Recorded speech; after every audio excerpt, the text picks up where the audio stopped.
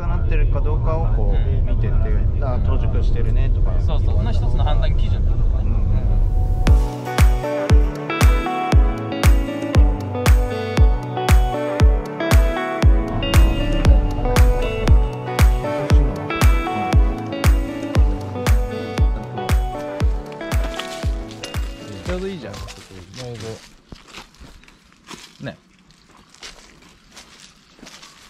結果も詰まってんねちゃんとね。まあでもこれ今年あれだねだいぶ落とすとか出てきたね、選んで選んで。いい枝ばっかり。これもういらなくなるしこっち中心に残してこれとこれ払ってあげてそうそうこれか。この元のやつ落とせば。はいはい。うん。先端がもうやっぱ太いからこっちに切り替えた方がいいんじゃない？これ。ああ大きい方に、うん。もう負け枝になって細くなってるからさ。はい。江澤さんちょっと説明してあげて。全部。全部。会長ですからねやっぱね。あ会長。会長。これ何で幸運してる感じですか？はもう手押しのやつ。あ手押しのちっちゃいやつ。これこのままこっちに持ってきちゃえばいいじゃん。そうすればその若いのもこっちに降ってきてこれずーっとこっちに持ってくればはい大丈夫で。1月はあの出沢先生がちゃんと 若木の剪定の見本見せてくれるから。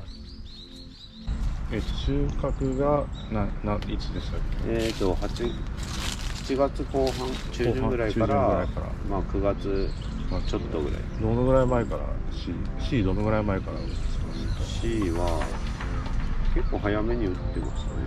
えーと7月入ったあぐらい7月7月入ってからですか？仕上げの段階ででも BCBCC グッあ7月入ってから B も C ドはい。B も確か混ぜてたのにたまに。なんか相談した時にいや一回 B 入れとった方がいいんじゃないみたいな。春先の A とかはやらなかった。A はやってないですねやって私。来年やった方がいいかもね。う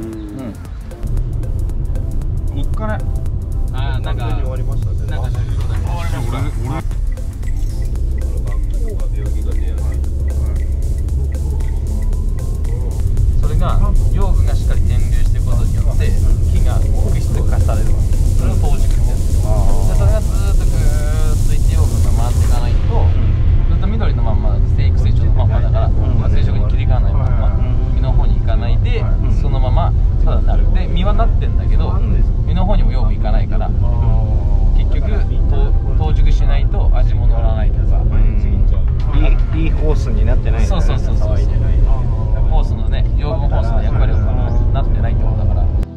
このブドウですとか柑橘のみかんやデコポンの補助を視察しているのは九州の熊本で同じように栽培の見える化で同じような資材で同じような栽培体系で取り組んでいるところの状況を見ているところです。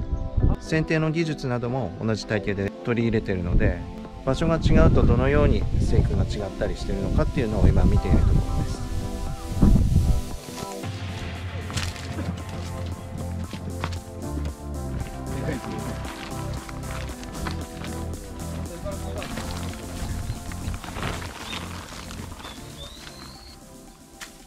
と何ヶ月だろう。あと3ヶ月後ぐらいに食べれるようになるかな。結構ひえっ、とこの間分析してもらったらカルシウムがかなり減っちゃってて。吸うからね。だからこの間シェルカル振って。思ってるよりカルシウムって吸うよね。うんそうですね。ね。なんかびっくりしちゃいました。ね。いつもよりやってるつもりだったんですけどあらない。っ てでもこれでここの腐れがねカルシウムのやつで補給してって出なくなれば、うん。それはもう全然ねかなり違いますよね、うん。コポンの場合だったら。やっぱロスが多うん。分30%ぐらいあ多い時は、それだけで済むんだったら一番いいですよね、であの散布とかでうん。頑張って頑張ってあんまり効果がないんで、うん。あだよね。うん。これは植えて大体3年目の苗の木のレモンになります。うまい。でもうまいね。うん。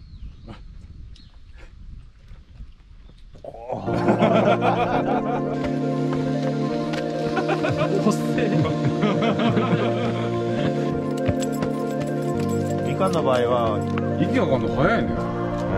い。やでも走りましたから。そんな走ってないじゃないでも。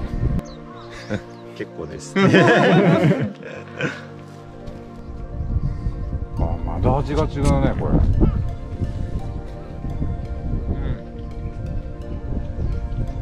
ちょうどこっちの方が上が上がりやすいんだよね。あっちはあっちで多分甘い感じになるけど。あんまり日当たらないけど味は乗るんですよ。みかんだったら多分美味しくないですもん黒。あだけど褐色系だね、あなんか肥料系出ちゃってるからあれだな。また別だな実落ちたりして分解されてとか。この実の影響もあるもんね、養分入る作物ごとの要求量に応じてそれ作っていけばいいで堆肥の主な役割は、邪魔しないってことだロースカツの人はいソテーポテトの人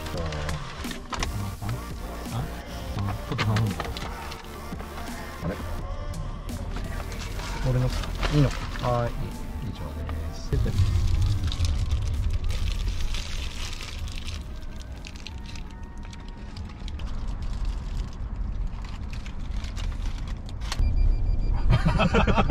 やりっぱなしやりっぱなし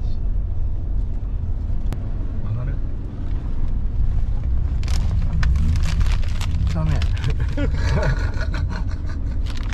こんな感じでずーっと飛び玉出てから、まあ、着床が始めてからほぼこの1ヶ月以内ですね。で着床がバーンと開始していってっていうのがあるんでなかなか今まではなんかこのこの色とかこの色で終わってしまったっていうのがあったんですけどこの真っ黒さで着色を上げることが2年連続でできたっていうのがあって若干ちょっとこっちの濃いんですけどこっちはもうかなり本当の巨峰の色っていう形に持っていけるって思っていたのでそれこそ本当に最初内山君と出会った時っていうのはもう赤で困ってると、で着色も上がらないし味もね、そこまでどうしてもそのブドウっていうかそういう味がしづらいっていうのもあってであればじゃあまずチャレンジしてみようかっていうところででこの本当農業病院っていうのを活用しつつ今やらせていただいてるっていうところですね